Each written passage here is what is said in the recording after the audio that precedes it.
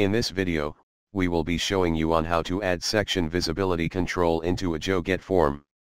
We will be doing it over the sample app, the HR expenses claim app that you can find in your Joget installation as well as from the Joget marketplace. Here's existing approval form. At the end of the form, we will add section visibility control based on the status.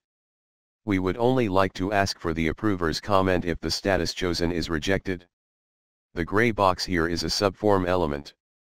Now, let's edit the form in the form builder. Scroll all the way down. Create a new section.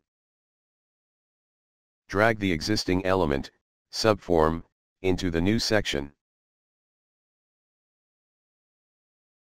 Now, we will need to inspect the select box. Edit the select box. Copy the ID. Remember the value that we want, rejected. Edit the new section. Go to Advanced Options. Paste the ID earlier in and set the value to rejected.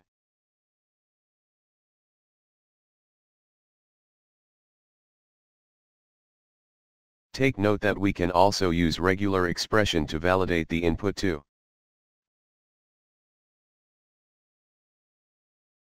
Preview the form.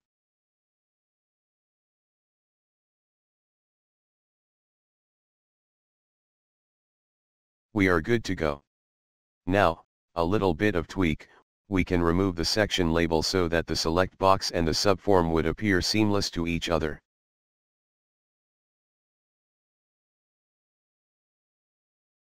Preview the form.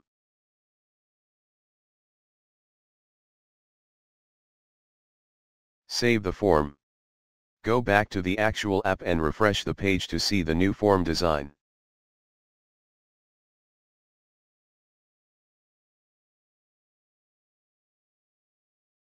That's all. Thank you for watching.